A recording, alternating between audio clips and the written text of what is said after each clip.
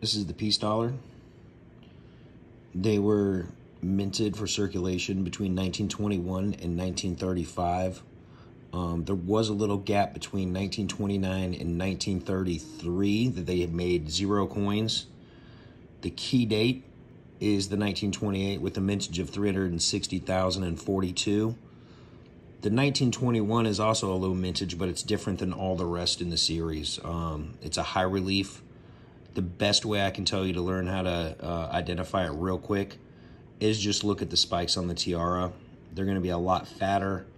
And um, once you recognize the, the different, uh, two different varieties, you're going to be able to pick those out um, real quick, even without a date. If the date was rubbed all the way up, as long as you can see the tiara, you can tell exactly what it is. Um, this is a 25. It's uncirculated.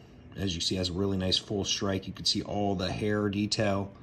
Um, a lot of times when these were struck, uh, you get like mushy hair by her ear. And uh, it would almost look circulated, but it's just the strike. Here's the reverse.